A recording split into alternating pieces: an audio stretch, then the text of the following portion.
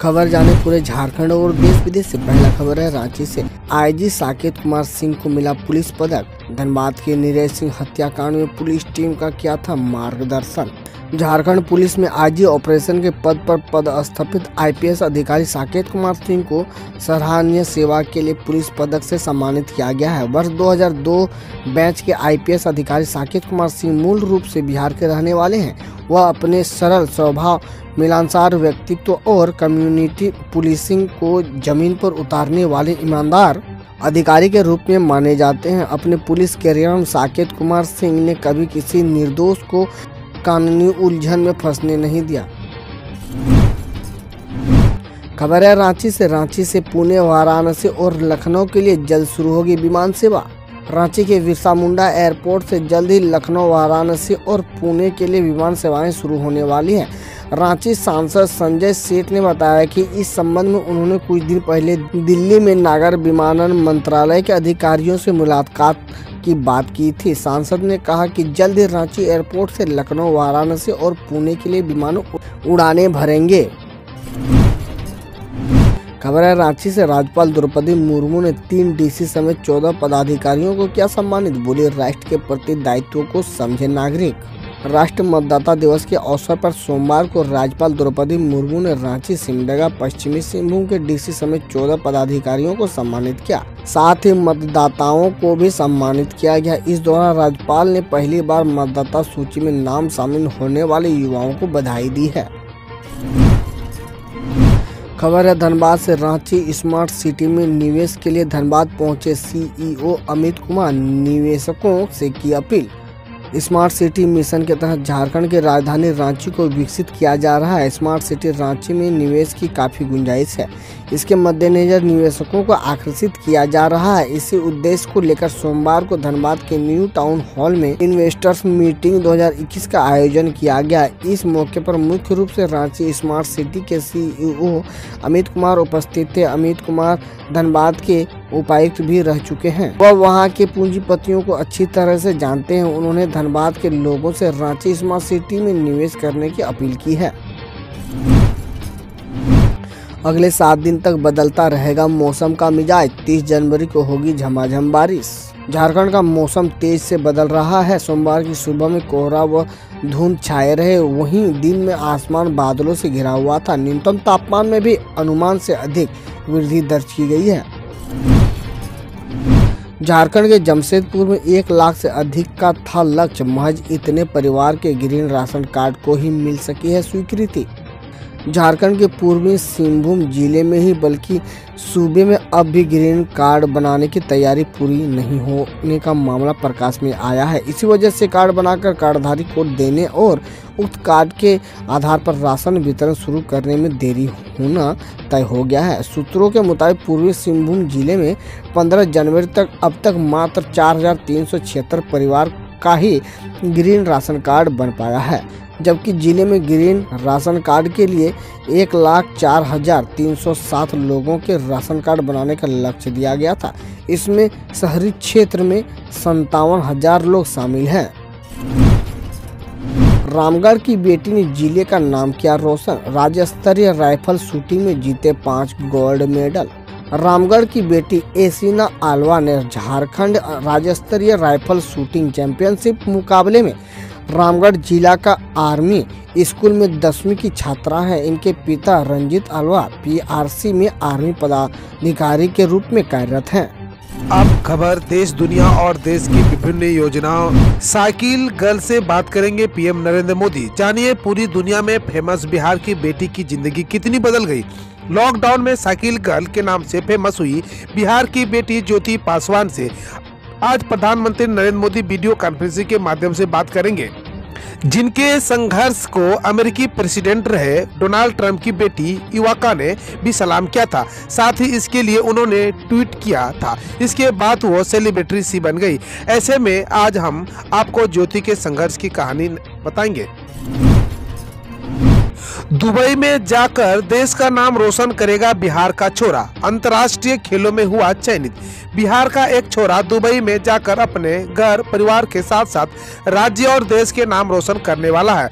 रसूलपुर थाना क्षेत्र की बनपुरा पंचायत के घुरापाली गाँव का छोरा अनुज कुमार सिंह अब अंतर्राष्ट्रीय वॉलीबॉल खेल में भारत का परचम लहराएगा। कोविड 19 वैक्सीनेशन के लिए अमेरिका में अपनी जगह देगा गूगल, सुंदर पिचई ने बताया। गूगल के मुख्य कार्यकारी अधिकारी भारतीय अमेरिकी सुंदर पिचई ने सोमवार को घोषणा की कि कोविड 19 रोधी सामूहिक टीकाकरण केंद्र के तौर पर इस्तेमाल के लिए कंपनी अमेरिका में अपनी जगह उपलब्ध कराएगी। उन्होंने इसके साथ ही टीके को लेकर जानकारी के प्रसार के वास्ते 15 करोड़ अमेरिकी डॉलर भी ज़्यादा रकम खर्च करने की प्रतिबद्धता जताई है। सिक्किम में खदेड़ा गया तो फिर शांति का राग अलापने लगा चीन। भारत को दे रहा सिक्के लद्दाख से लेकर अरुणाचल प्रदेश तक सीमा क्षेत्र में घुसपैठ की ताक में बैठे चीन की चोरी अब भारत ने पकड़ ली है। वह उल्टा सिख देने लगा है। चीन के प्रवक्ता ने भारत से एक पक्षीय कदम न उठाने के लिए कहा है। दरअसल सिक्किम के नाकुला में चीनी सैनिकों की घुसपैठ की कोशिश को भारतीय सेना ने नाकाम कर दिया था और दोनों पक्षों के बीच मामूली झड़प भी हुई थी। चीन की चाल से नेपाल में तेज़ी से बदल रहे घटनाक्रम। भारत के एक्टिव रोल की ज़रूरत। नेपाल में एक बार फिर से राजनीतिक घटनाक्रम बहुत तेज हो गया है। चीन के इशारे पर चल रहे नेपाल की सत्तारूढ़ कम्युनिस्ट पार्टी के नेता पुष्प कमल प्रचंड ने प्रधानमंत्री के पी शर्मा ओली को रविवार को पार्टी से निकाल दिया। शाम होते होते प्रचंड को नेपाल के चुनाव आयोग ने करारा झटका दे दिया और पीएम ओली को बैसाखी को खारिज कर दिया। विशेषज्ञों का कहना है कि नेपाल के तेज़ी से बदलते घटनाक्रम में चीन के हस्तक्षेप से अस्थिरता बढ़ रही है और भारत के एक्टिव होकर काम करने की ज़रूरत है। दुबई में पचहत्तर हज़ार स्क्वायर फुट में बन रहा भव्य मंदिर। सामने आई अद्भुत तस्वीरें। दुबई में हिंदुओं के लिए बने एक मंदिर का शुभारंभ अगले साल दिवाली तक लिया जाएगा। मीडिया रिपोर्ट्स के इसकी जानकारी दी गई है। बीते साल अगस्त में महामारी के दौरान इस मंदिर की नींव रखी थी। दुबई के सामुदायिक विकास प्राधिकरण के मुताबिक शहर के जेबेल अली इलाके में गुरु नानक सिंह दरबार के समीप इस मंदिर का निर्माण किया जा रहा है, जो कि दुबई में सिंधी गुरु दरबार का विस्तार है। चीन से लोन लेकर लोन चुका रहा इमरान खान। ट्विटर पर गुंजा पाकिस्तान बन रहा चीन का गुलाम। नया पाकिस्तान बनाने का वादा करके सत्ता में आए प्रधानमंत्री इमरान खान, नियाजी देश को कर्ज के मकड़ा जाल में फंसाने की पूरी तैयारी कर चुके हैं। हालत यह है कि इमरान खान को अपने देश के संस्थापक मोहम्मद अली जिन्ना की पहचान को भी गिरवी रखना पड़ रहा है।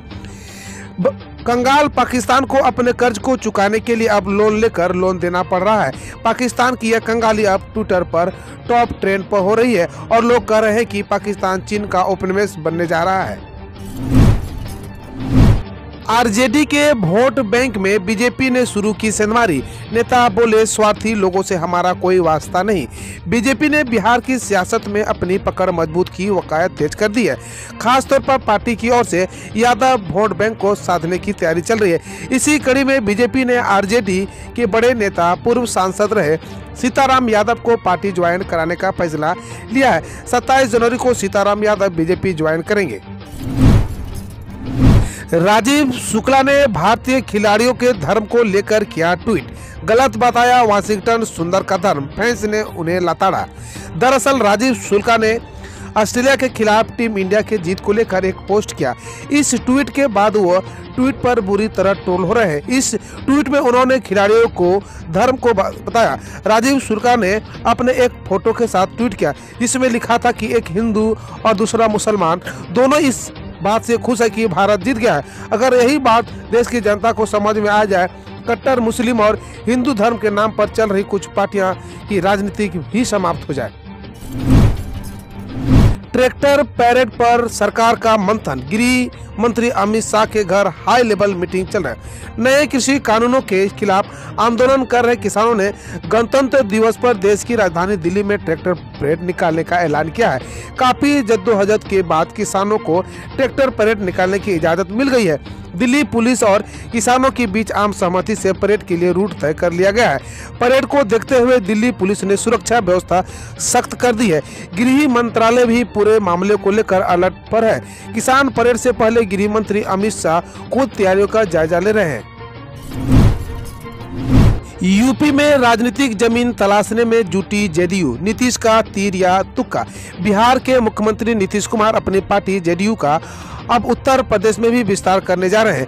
यूपी में अगले साल होने जा रहे विधानसभा चुनाव और इस साल होने वाले पंचायत चुनाव में जदयू पूरे जोश और खरोश के साथ भागीदारी करेगा। जननायक कर्पूरी ठाकुर की जयंती पर जदयू ने यूपी की सियासत में किस्मत आजमाने का ऐलान किया है। हालाँकि इससे पहले भी 2015 में नीतीश कुमार ऐसे ही यूपी में सक्रिय हुए थे, लेकिन बाद में चुनाव लड़ने से पीछे हट गए थे। ऐसे में सवाल उठता है कि जदयू वाकई सूबे में सियासी एंट्री करना चाहती है या फिर बीजेपी पर सिर्फ़ दबाव बनाने की रणनीति है। खबर बंगाल से। परिवारवाद पर अभिषेक बनर्जी का बीजेपी को चैलेंज, लाए बिल 24 घंटे में छोड़ दूँगा राजनीतिक पश्चिम बंगाल में विधानसभा चुनाव से पहले राजनीतिक बयानबाजियाँ तेज हो गई है। बीजेपी के टीएमसी पर परिवारवाद की राजनीति के आरोप पर टीएमसी सांसद अभिषेक बनर्जी ने जवाब दिया है। ममता बनर्जी के भतीजे अभिषेक बनर्जी ने बीजेपी को चैलेंज करते हुए कहा कि जो परिवारवाद की राजनीति का आरोप लगा रहे हैं, उनके खुद के परिवार से लोग राजनीतिक में हैं। भारत, फ्रांस की वायुसेना का युद्धाभ्यास डेजर्ट नाइट 2021 का हुआ समापन। इंडियन एयरफोर्स और French air force and space force के एयरफोर्स स्टेशन जोधपुर में युद्धाभ्यास डेजर्ट नाइट 2021 में हिस्सा लिया। अपनी तरह का पहले द्विपक्षीय अभ्यास में भारतीय वायुसेना के सुखई, थर्टी, एम और मिराज 2000 विमानों के साथ साथ दोनों देशों की वायुसेना की ओर से राफेल लड़ाकू विमानों की भागीदारी ने लार्ज फोर्स इंगेजमेंट समेत जटिल अभियानों को अंजाम दिया। पीएम मोदी बोले, झारखंड की बेटियों, तीरंदाजी में अव्वल। सविता बोली, देश के लिए ओलंपिक मेडल लाना चाहती हूँ। प्रधानमंत्री नरेंद्र मोदी ने झारखंड की तीरंदाजी बेटी सविता कुमारी से वीडियो कॉन्फ्रेंसिंग के ज़रिए बात की। इस दौरान पीएम ने सविता से खेल से लेकर घर वालों तक के बारे में पूछा। शुरुआत में सविता थोड़ी नर्वस नज़र आई, लेकिन उसने पीएम के हर सवाल का जवाब दिया। उसने पीएम को बताया कि उसका सपना ओलंपिक खेलने का है। पीएम ने सविता को भविष्य की शुभकामनाएँ देते हुए कहा कि झारखंड की बेटियाँ तीरंदाजी में अव्वल है। पीएम नरेंद्र मोदी ने कोलकाता यात्रा वीडियो किया ट्वीट। अनोखे अंदाज में कहा थैंक यू बंगाल. स्वतंत्रता सेनानी नेताजी सुभाष चंद्र बोस की 125वीं जयंती पर कोलकाता में आयोजित कार्यक्रम में शामिल होने का प्रधानमंत्री नरेंद्र मोदी ने एक वीडियो शेयर किया है। इस वीडियो में पीएम मोदी ने अनोखे अंदाज में पश्चिम बंगाल का शुक्रिया अदा किया है। शनिवार को कोलकाता में पराक्रम दिवस कार्यक्रम के मुख्य आकर्षण के साथ वीडियो में पीएम मोदी के भाषण कुछ अंश शामिल है, जो उन्होंने कोलकाता के विक्टोरिया मेमोरियल हॉल में नेताजी को श्रद्धांजलि अर्पित करते हुए कहे थे। हम रोज ऐसे ही न्यूज़ लाते रहेंगे। तो यदि आपने अभी तक क्लीन न्यूज़ को सब्सक्राइब नहीं किया है तो पहले फटाफट सब्सक्राइब कर लें। साथ ही बेल आइकन को दबा दें, ताकि कोई अपडेट मिस ना हो।